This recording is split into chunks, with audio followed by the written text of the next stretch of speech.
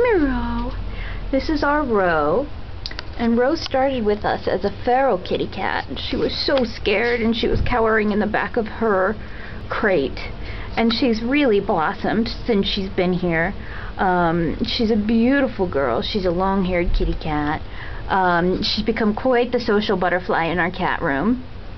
Sorry, that Shadow's tail in there. Come here, Roe. So as you can see, she's become quite friendly. She's quite the little snuggle bug.